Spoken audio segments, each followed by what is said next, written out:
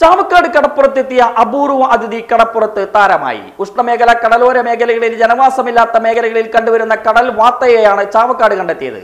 ഭൂബി ഇനത്തിൽപ്പെട്ടതാണ് കടൽ വാത്ത. പുറം ഭാഗത്ത് കാപ്പി നിറവും കഴുത്തുഭാഗത്ത് വെള്ള നിറവും മങ്ങിയ നീല കാലുകളുമാണ് ഇവയ്ക്കുള്ളത്. കേരള തീരത്ത് വളരെ അപൂർവമായാണ് ഈ പക്ഷിയെ കണ്ടുവരുന്നത്. ആഴം കുറഞ്ഞ കടലോരങ്ങളിൽ നിന്ന് ഊളിയിട്ടും വെള്ളത്തിനടിയിലേക്ക് കുതിച്ചു ചെന്നും ഇര പിടിക്കാൻ ഇവയ്ക്ക് പ്രത്യേക കഴിവുണ്ട്.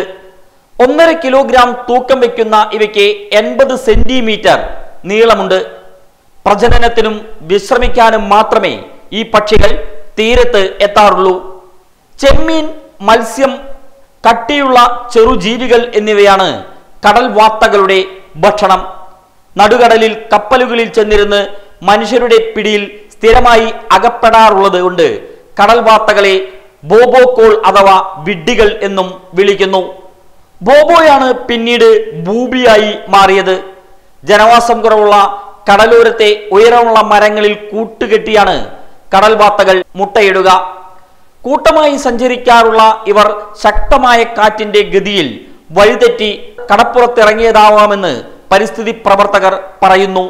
രണ്ടായിരത്തി പതിമൂന്നിലും ചാവക്കാട് കടപ്പുറത്ത് കടൽ വാത്ത ഇനത്തിൽപ്പെട്ട വെള്ള ഭൂമി പക്ഷിയെ കണ്ടെത്തിയിരുന്നു. ന്യൂസ് ഡെസ്ക് വീണയൻ ന്യൂസ്.